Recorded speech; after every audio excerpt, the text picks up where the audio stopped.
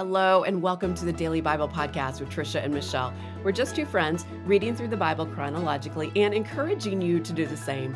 You can follow us on Instagram and Facebook, Daily Bible Podcast, or go to our website, dailybiblepodcast.net. We are going through the one year chronological Bible, and we have links for that in our show notes and also at our website. Also, if you're on Facebook, make sure you check out our community group. Just look for daily Bible podcast under groups. And did you know, Michelle? Did you know that ratings and reviews can make a huge difference in helping a podcast grow? They can. they can. So, if you have a minute, like 60 seconds, just go and leave a rating. If you have, you know, a minute and a half, you could leave a review too. Mhm. Um, it just helps us to reach more listeners when they see those ratings and reviews. I mean, just think of those ratings as like a high five or a pat in the back saying, Hey, great job. And it's uh, just as Tricia said, it's super easy. It takes a minute, whether you're listening on Apple Podcasts, on Spotify, or any other platform. Your feedback is like gold to us. Yeah, and we like reading them. I mean, we, We like reading the reviews, the comments, and even suggestions, stories. So, um, yeah, take a moment to rate us a review, and then we'll just keep keep sharing what we're learning about the Bible, which we And love. as we're gonna- sharing, you yeah. need to share too. Just hit that share button in your podcast app and send it to a friend. Send this podcast to a friend because we're in Job today and it's some really good, good, good It stuff. is. So today we are reading Job 15, 16, 17, and 18. All right. So back in Job, when we approach the book of Job, we believe there is one kind of overarching question. Why did God, who allows all things, allow Job, a blameless man, to experience so many tragedies and go through immense suffering? I think that's what the question that Mm. everybody kind of asks when they come to Job like, Mhm. why did God allow this?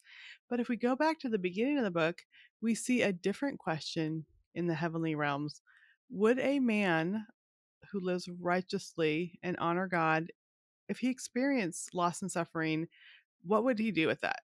How Mm. would he respond? And God believed that Job would continue to live righteously. He pointed him out to Satan, like, look at my look at my friend Job. And Satan's like, Oh, he's gonna curse you. God's like, No. And God allowed Satan, which like we don't I mean, that's a hard thing, but God knew that Job would continue. So if God took away Job's blessings, Satan said, Job's going to curse you.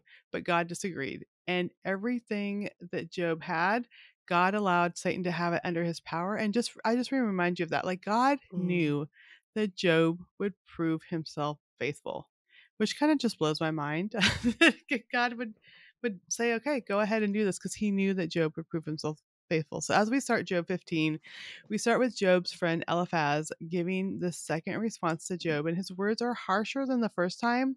And Eliphaz accuses Job of not fearing God or having reverence for him. He claims that Job's sins are telling Job what to say. Your words are based on clever deception. Then Eliphaz tells Job to listen to him. Eliphaz says that he has the answers that Job needs from Eliphaz's own experience. Basically, this advice is that the wicked won't prosper and they will lose all their wealth. And as I read this, I it took us a, a- another stab at Job because Eliphaz clearly believes that Job lost everything because of a Mhm. hidden sin. So he's like like when he's down, he's basically kicking Job while he's down.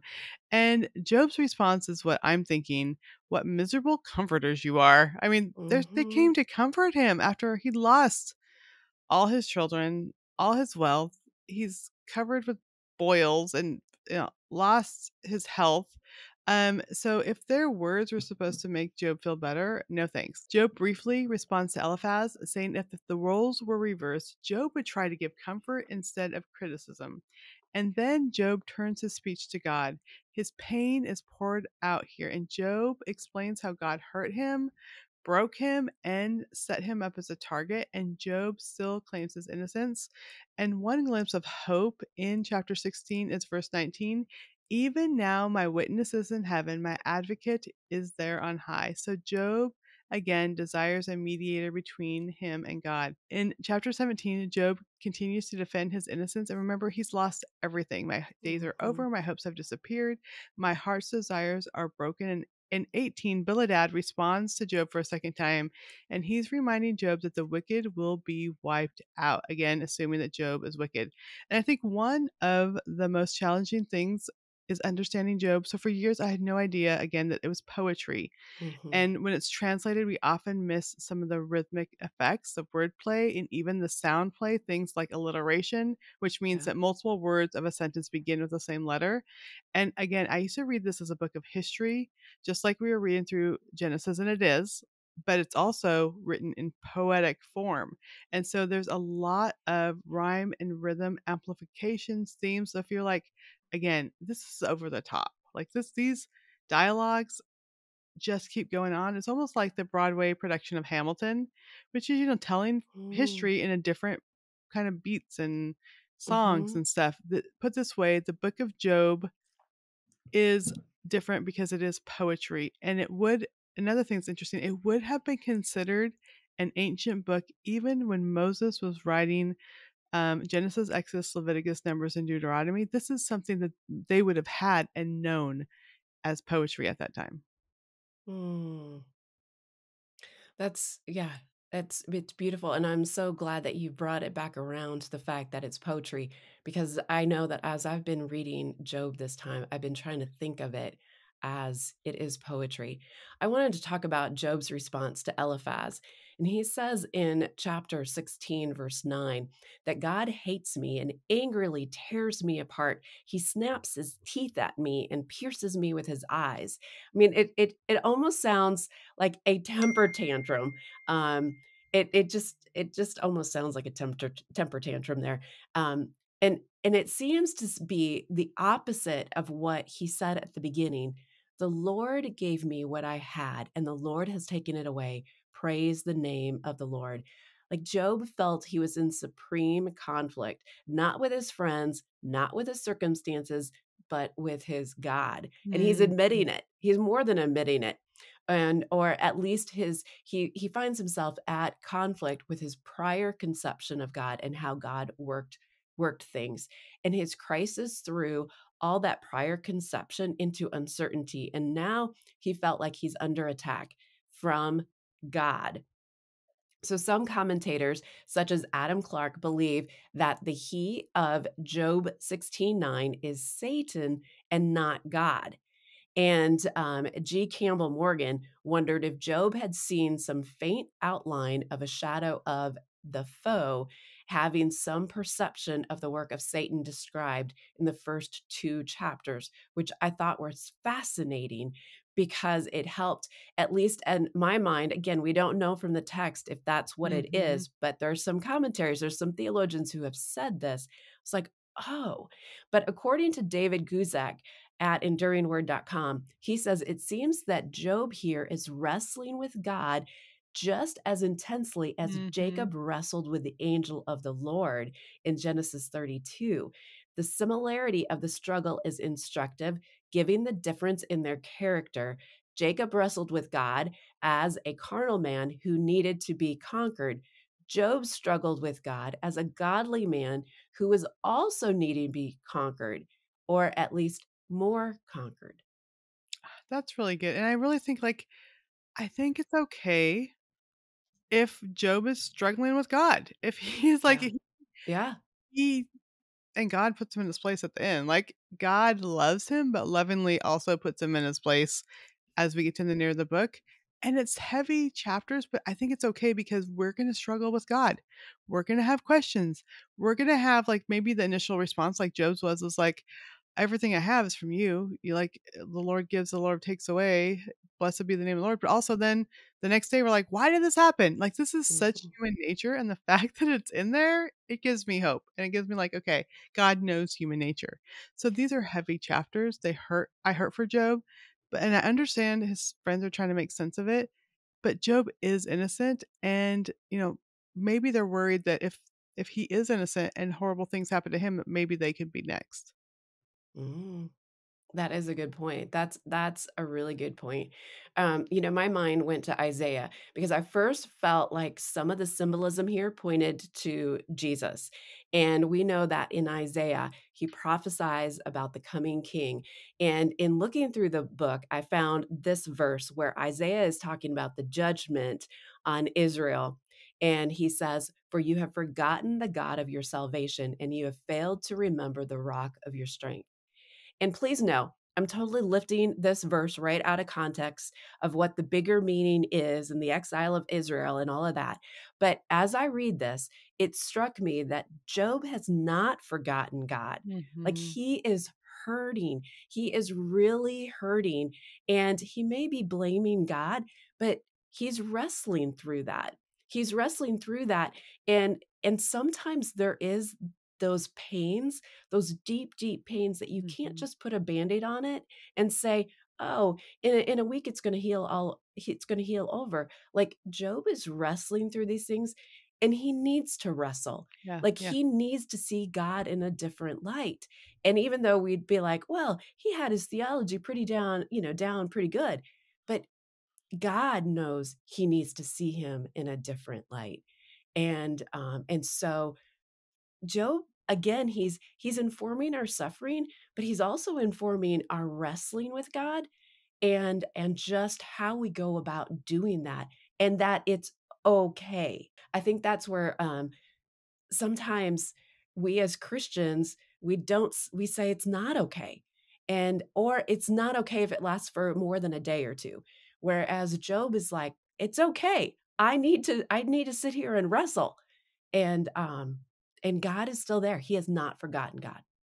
Yeah, so it reminds me of we just had um, our two grandkids staying with us for three weeks while they were visiting from Europe, but two year old and a five year old.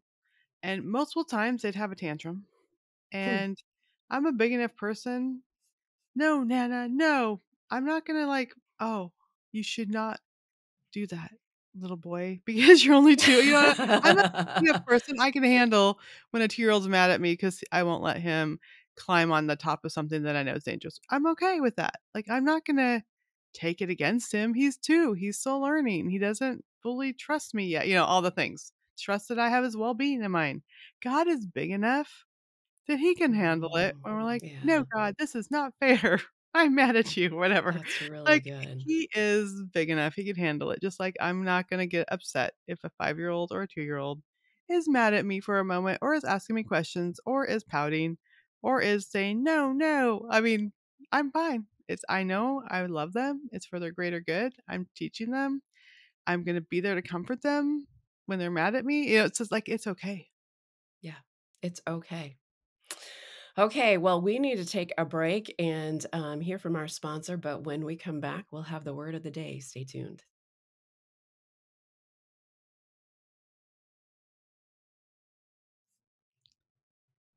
Okay, the word of the day is accuse. So, to hmm. accuse is to charge someone with an offense or a crime, or mm-hmm. claim that someone has done something wrong. And so, the book of Job is part of wisdom literature, and the goal is to investigate the nature of suffering. And Job's suffering increases because of the accusations of his friends. Like his suffering is even compounded when they show up to comfort him. Um, but also in his pain, Job starts accusing God. Did God hate Job as Job, Job claimed? No, God didn't hate him. Um, we know that God didn't hate Job because it's laid out in the beginning of the book. He considered Job blameless. He even pointed out to Satan, like I mentioned before, consider my servant Job. Yet still, Job's friends accuse him. So false accusations are never fun. Yet, isn't Job doing the same thing? He is accusing God of ill will. But this is a good reminder. Like, it's easy for us to accuse God of harm, especially when we're hurt. Like we mentioned before, God can mm-hmm. handle it. But also, let's think through these accusations. So, a few years ago, a friend accused me of something that I wrote that was very similar to a topic of one of her books. And thankfully, she was not as harsh like Job's friends, but she was actually very kind when she approached me. Uh, but her accusations that I took some of her book, it crushed me because I knew that it came from my own life. Mm-hmm. I knew mm-hmm. this, the words I had written came from my experiences. Yes, there was a similar topic, but a lot of us write about similar topics. Um, and because she was a friend, I felt like so hurt by it it hurt me for months. The pain, I'm just like, I can't believe she accused me of that. Um, but it didn't end our relationship, even though I was hurt. I actually um, had a one of our pastors was part of Peacemaker Ministries. He's a mediator, and we had a mediator help us talk about it, help us her explain her side of it, me explain my side of it, um, and we were able to put it behind us. We were like, now I talk to this friend almost daily. We she, I understood her point of view. She understood my point of view we got through it and i love that we can have these conversations we had a mediator and we're we moved past it i don't don't ever thinking about it again it just i happen to think of it for the illustration but when i talk to her every day it's this is not something a mm. lingering hurt what did job want he wanted a mediator a, to go against the friend's accusations um, and as christians we have the mediator mm. christ um, mm-hmm. um, but also know that you know god even though he was again accusing God, God continued the conversation. He continued drawing Job closer to him. God did not give up in Job. He mm-hmm. stayed in that relationship. I think that's important. That is important. And I love the fact that you brought up the mediator. And I mean, just as a part of the word of the day being accused, you brought up the mediator. And, you know, a mediator is concerned with both parties. And Job said, I need someone to mediate between God and me. We continue seeing foreshadowing of Christ. Mm-hmm. We saw this a couple of times yesterday and again today in our reading. And in my notes, I wrote, Jesus, Jesus, Jesus. And today, today I have the hope and knowledge that Jesus is our mediator. We yeah. all do. And we know that the Old Testament is God setting up pieces, the players, the history, the everything. He is preparing things for the mediator to come. He's cre- he's creating that urge, that longing for the mediator to come. And God's preparing for an innocent child to be born, someone to walk the earth and be without mm. sin, someone to die on the cross for our sins. We know Christ is the perfect mediator. He intercedes on our behalf. He intercedes when we are being accused. We do not have someone in our court when we stand before. We have someone in our court when we stand before God. That is such mm-hmm. good news. And he will gladly stand stand against any accuser. It hurts to be falsely accused. It hurts deeply, especially when you know it isn't true at all. Yeah, and I think when you have personal conflict, um, I highly recommend Peacemaker Ministries. Mm-hmm. They do have people you can contact, or you go online, you can find a peacemaker to help you, and they know how to, like Michelle says, they're for both sides of they're for both sides. They want to help both sides. They want to come yeah. to a, a, peaceful agreement. Um, but also, I love what Michelle said too about we have a mediator in Christ. And since the fall of Adam and Eve, sinners could not approach God. We cannot approach God. But because of Jesus, we can. And as a mediator, Jesus took our punishment so that we can accept God's grace. So not only did he like stand between and help people work it out, he became the way that we can we can come to God. We can be reconciled with God. Um, Second Corinthians five twenty one says, "For our sake, He mm-hmm. made Him to be sin who knew no sin, so that in Him we might become mm-hmm. the mm. righteousness of God." And so, while my mm. pastor helped mediate a dispute, Jesus took our guilt so that we can have eternity with God. And that's a whole different level of mediation. Mm-hmm. It's something that Job longed for, and it's something that we can be thankful for. So, I mean, as we're thinking about what we read today, think about the insights you have gained when it comes to suffering, mm-hmm. and also think about what can change or understanding how if Christ is our mediator, how does that impact our personal trials? And I would love to hear your thoughts on that. If you are in our Facebook group, leave a comment. If you mm-hmm. leave a comment on our social media, I would just love to hear as you're reading through Job, what are your thoughts on suffering is, are they different than before? And your thoughts mm. on Christ as our mediator? Those are some good questions. Yes, please drop them in the comments on our Facebook group. Oh, today's been good. I've learned. I've learned a lot. Mm-hmm. Tricia, can you can you pray for us and close us out? Yeah. Dear Heavenly Father, um, there is a lot of accusations. there is uh just in everyday life with people around us, there might be accusations. There are our own accusations. I maybe even now we're having those feelings of God, how can you, how did you allow this to happen to me? Why Mm. did you allow this to happen? Maybe um, we're not voicing them. Maybe just they're in our hearts are feeling like, I've just been trying to be faithful, God. How could all these hard things happen, Lord? Um, accusations are a hard thing, but I am so thankful, Lord, that first of all, that you can handle it. And second of all, that we have Jesus, who is our mediator, that helps us to understand that um, even when there is sin and hardship and suffering in this world, that because of our mediator Jesus, that we do not have to live in that forever. That through Jesus, um, we can come, we can approach you, we can have forgiveness, we can have a new life, and that new life is in you, Lord. I pray that you will help us to fully embrace the gift that you Mm. have given us. And because of your Son, I pray that we can have hard conversations, Mm. knowing that in the end, if we're going to trust you and love you, even after the hardships, Lord, help us not to uh, put up a wall between us, but to trust in Christ to Mhm. be our mediator. Help me to trust you more today. Mhm. In your name we pray. Amen. Amen. Well, we are sending you off with some daily encouragement to get into the Word and be the hands and feet of Jesus. Again, if you don't have the one year chronological Bible that we are using, we have links to that Bible in our show notes. You can even find it in the Kindle format. Also, in the show notes is a monthly and yearly schedule of the Bible reading plan that we are following. So, tomorrow we are reading Job 19, Job 20, and Job 21. And I want to take a second here to thank the team at Life Audio for their partnership with us in the Daily Bible Podcast. If you go to lifeaudio.com, you're going to find dozens of other faith centered podcasts on their network. They have got shows on Bible study, on parenting, on prayer, and so much more. That's lifeaudio.com. And we will see you here tomorrow. Bye bye.